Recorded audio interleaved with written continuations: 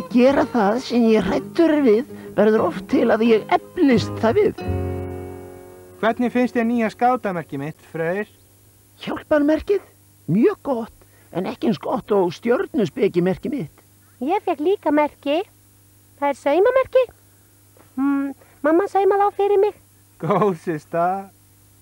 Og í dag fáum við líka öll ný merki. Hellamerkið, eins og maður sé góður í að hella nýður. Hellamerki. Þetta var fyndið. Það finnst mér ekki. Mér finnst ekki gaman að vera inn í dimmum helli. Ég er bara hrættur. Maður veit ekkert hvað er þetta inni og býður bara eftir saklausum skátabjörnum eins og okkur. Þú ert bara búin að sjá of margar hillingsmyndir. Hefur þið kannski aldrei komið í helli áður, Freyr? Nei, Treyst okkur, Freyr, þú þarft ekkert að vera hrættur. Það verður kannski ókvækjandi fyrst, en við förum bara hægt. Það verður gaman. Svo verður skátafóringi með okkur og hann er frábær. var einhver að kalla? Er ekki allir bara til í hellaskoðanaferð? Juhú! Alveg. Freyr, Ég er alveg tilbúinn. Haha, fyrsta skipti, ha. Við höldum bara hópinn. Við víkjum ekki frá þér. Jæja, þá leggjum við í hann.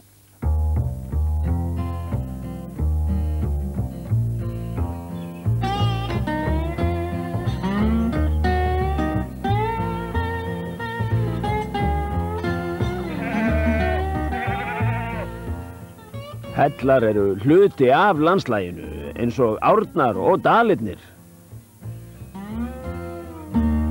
Og það er ekki hægt að vita hvernig helli lítur út nema að fara inn í hann. Ég vona það, því þessi lítur út eins og ófreskja. það fer eftir því hvernig maður lítur á það. Ég finnst að vera eins og graskershaus. Einmitt. Bara frekar hlægilegur. Já, hann er kannski bara frekar hlægilegur en skelvilegur. Þetta er svo við rötum tilbaka, er það ekki? Það er rétt hjá þér. Aðal atriðið er að týnast ekki þarna. Jæja, félagar, af stað. Jæja, þá það.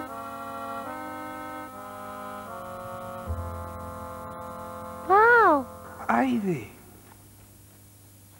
Svakalega dimmt hérna. Augun þurfa bara að venjast byrtunni hérna. En vanur skáti er samt alltaf með vasaljósið sitt með sér. Úps, ég ætla ekki að bregða þér, freyr minn. Allt í lagi. Fyrir langa löngu byggu byrnir í þessum hellum. Þessi hluti hérna hefur ef til vill verið stofan. Flott. Ótrúlegt. Mm. Á einhver heima hérna núna? Nei, Freyr, það er langt síðan það var. Það eina sem við finnum hér eru steingerfingar eða hellamyndir. Vá.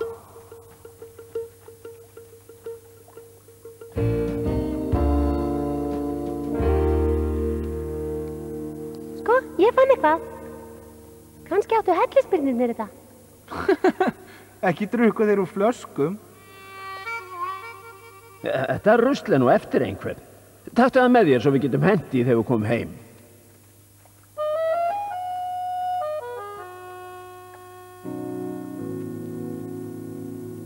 Pabbi, hvað er þetta bláa á veggjunum?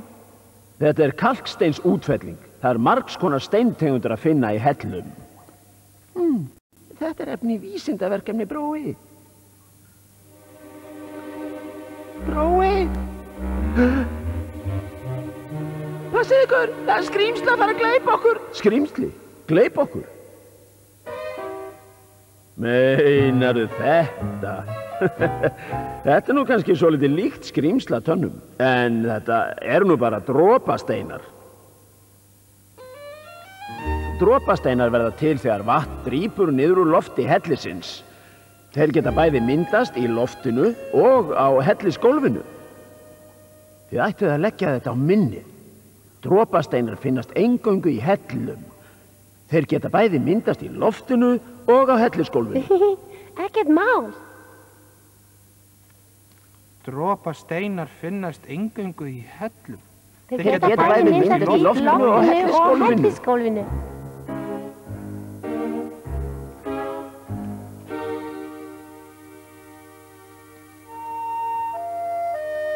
Komdu, Freyr, alveg rólegur, eitt skref í einu, það er ekkert að óttast, í alvöru.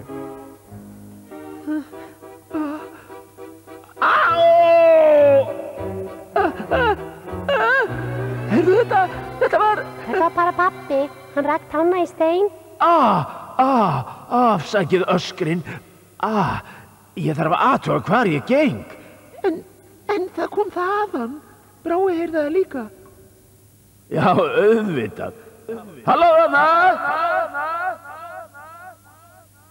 Þetta er bara bergmál, það er ekkert að óttast. Mér brá líka, en maður finnur nú alltaf rökrétta skýringu á öllu svona. Ég veit, það er alltaf til rökrétt skýring á öllu. Einmitt! Einmitt! Uh, passið á okkur tætnar.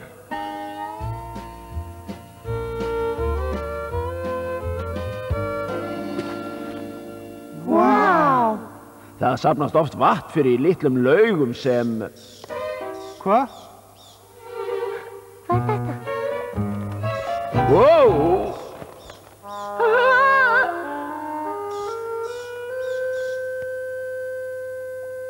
Hvað er þetta?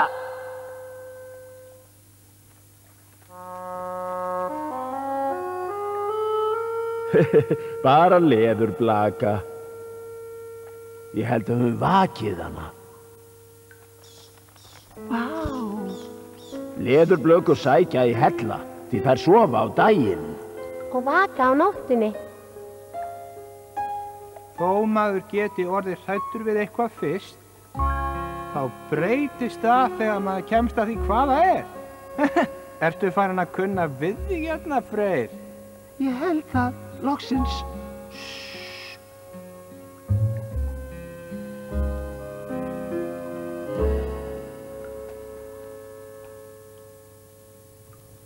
Þið? Vá! Steingervingar! Kannski eru þeir miljón ára gamlir. Hvaða dýr ætli þetta hafa verið? Þetta voru örglega pöttur. Það eru fleiri hér. Það eru örglega fleira þarna hinum megin. Hmm. Því miður. Línan nær ekki lengra.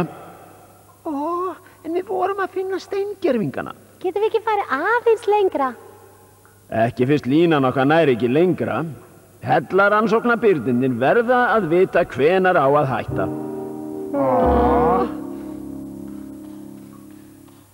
Heyrðu þið þetta? Hvað er þetta?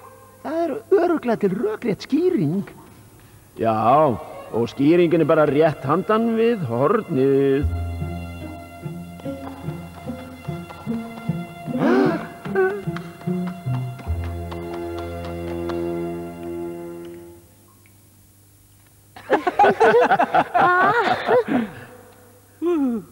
Ég var meira að segja hrættur.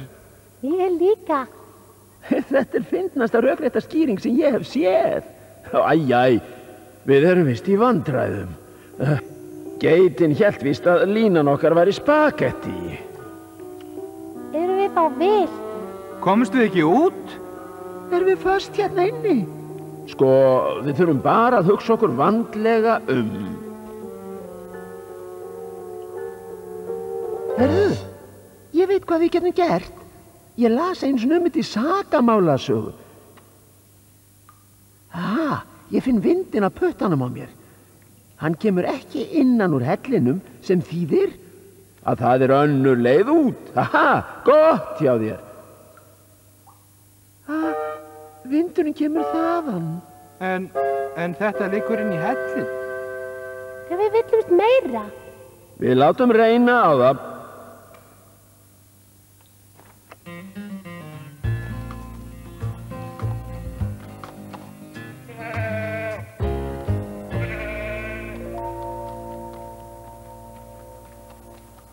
Þetta hljómar eins og!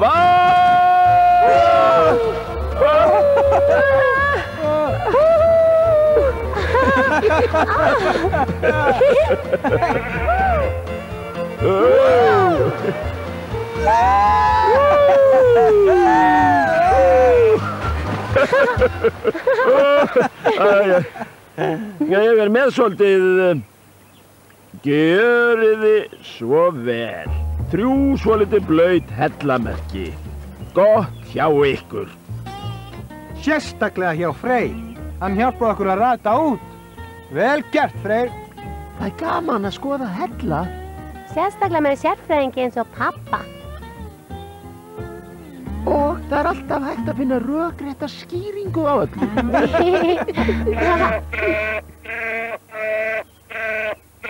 Ha ha ha ha!